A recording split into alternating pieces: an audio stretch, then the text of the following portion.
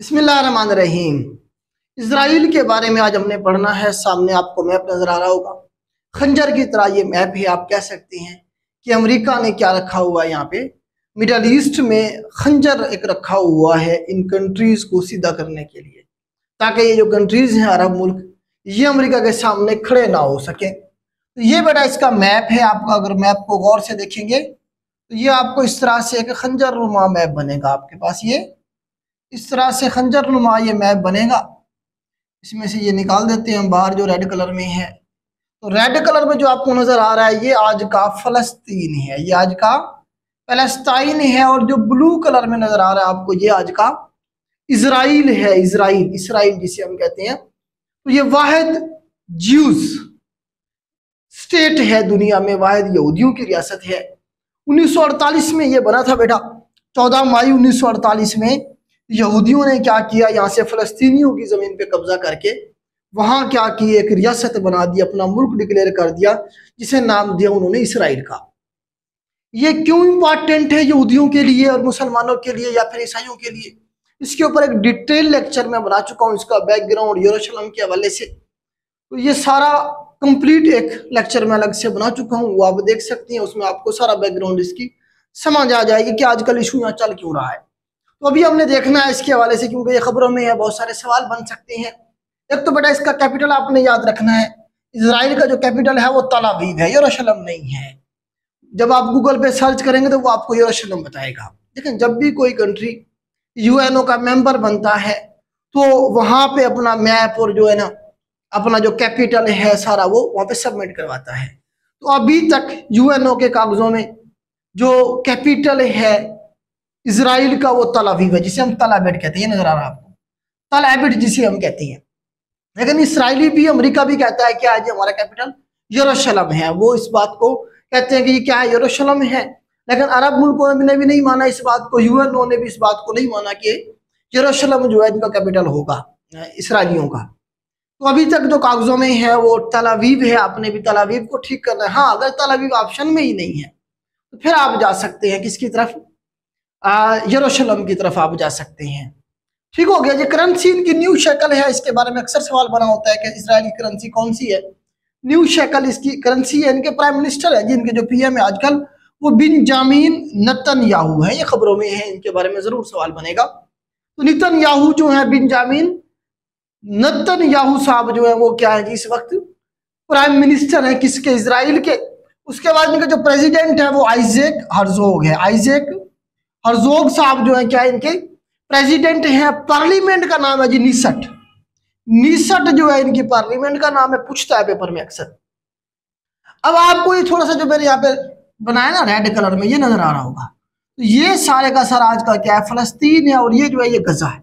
ये गजा की पट्टी है, गजा सट्री पे है यहाँ पे। तो आजकल जो इसराइल जुल्म कर रहा है, मुसलमानों के ऊपर वो क्या कर रहा है? गजा की स्ट्रिप के अंदर जो मुसलमान थे यहाँ पे जो गजा में ना हमास काम कर रही है हमास याद रखिएगा, हमास के हवाले से सवाल बनेंगे हमास मुसलमानों की ऑर्गेनाइजेशन है जो गजा के फलस्तीनियों के हकूक के लिए लड़ रही है। इसे आजकल लीड कर रहा है इस्माइल हानिया। इस्माइल हानिया साहब इस वक्त हमास को लीड कर सवाल बनते हैं हमास के हवाले से। 1987 के अंदर ये बनी थी, शेख अहमद यासीन ने इसे बनाया था, ये भी सवाल बनता है, कब बनी हमास? किसने, कौन इसका फाउंडर था? तो शेख अहमद यासीन साहब, इसके फाउंडर थे। और ये जो है ना जी क्या कर रही है गजा के अंदर लड़ रही है फलस्तीनियों के हकूक के लिए। तो इस तरह से इन्होंने जो ना अटैक किया इसराइलियों पे। और रिएक्शन के तौर पे अब इसराइल ने क्या किया? हमला किया और यहाँ पे मुकम्मल तौर पे वो क्या करे अब जिनोसाइड करा है।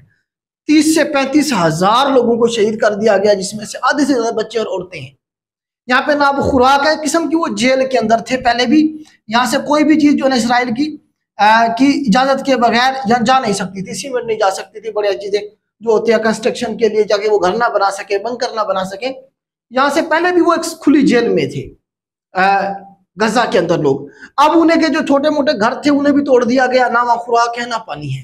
तो बहुत बुरा हाल है गजा के सट्टे में मुसलमानों का, जिन्हें ये यहूदी क्या कर रहे हैं, इसराइली क्या कर रहे हैं, मार रहे हैं। तो अभी इसके ऊपर जंग जारी है। देखिए आगे चल के क्या बनता है। और ये जो साइड है, ये वाली ये भी फलस्तीन है रेड वाला जो है। ये जेरूशलम वाली साइड है इससे हम वेस्ट बैंक भी कहते हैं। इसे हम क्या कहते हैं? वेस्ट बैंक इसलिए कहते हैं यहीं से जॉर्डन रिवर जा रहा है। जॉर्डन रिवर ऐसे जा रहा है जॉर्डन रिवर की ये वेस्टर्न साइड है। तो इसीलिए इसे वेस्ट बैंक कहा जाता है और ये ईस्ट बैंक है। यहीं पे इसराइल और जॉर्डन के दरमियान में हमारे पास डेड सी भी मौजूद है। डेड सी मौजूद है 420 मीटर जिसकी डेप्थ है, जो कि डीपेस्ट पॉइंट है अर्थ के ऊपर।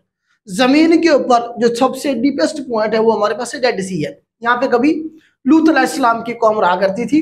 तो इस तरह से यहाँ पे हमारे पास डेड सी है, जो कि डीपेस्ट पॉइंट है। ज़मीन के ऊपर तो डेड सी का पूछा लोकेशन क्या है?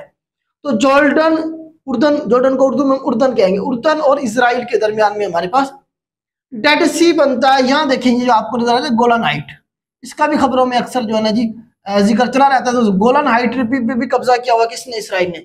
बेसिकली ये क्या है? सीरिया इधर। शाम है, शाम का हिस्सा है गोलन हाइट। 1967 में जब सेकेंड अरब इसराइल वार हुई, जिसे हम सिक्स डेज़ वार भी कहते हैं, उस दौरान इसराइल ने कब्जा किया था गोलन हाइट अभी तक इसराइल के पास ही है। तो आप ये देखें कि इसराइल को कौन कौन से मुल्क लगते हैं? ईस्ट में तो ये मेडिटेरियन सी लगता है, यहाँ पे देखें। और वेस्ट में हमारे पास इधर से सीरिया लगता है, इधर से हमारे पास जॉर्डन लगता है। और ये जो सारे का सारा येलो कलर में ये है, ये क्या है? हमारे पास मिसर है, इजिप्ट है। सिनाई है, सनाई। इजिप्ट का इलाका है। कोई तूरे सीना है यहाँ पे। नीचे रेड सी है, ऊपर क्या मेडिटेरियन सी है। तो इस तरह से जो है ना हमारे पास ये इजिप्ट, इसके हवाले से इसराइल के हवाले से कुछ सवाल बन सकते थे। इसकी पूरा मैंने बैकग्राउंड जंगें जो हुई अरब इसराइल, वो सारी एक अलग से वीडियो में मैं एक्सप्लेन कर चुका हूँ कि किस तरह से यहूदियों ने यहाँ पे नाजायज रियासत बनाई और किस तरह से वो मुसलमानों के ऊपर जुल्म कर रहे हैं। तो ये बेटा आज का टॉपिक था, उम्मीद करता हूँ आपको समझा पाया हूँ आज के लिए इतना ही, अल्लाह हाफिज़।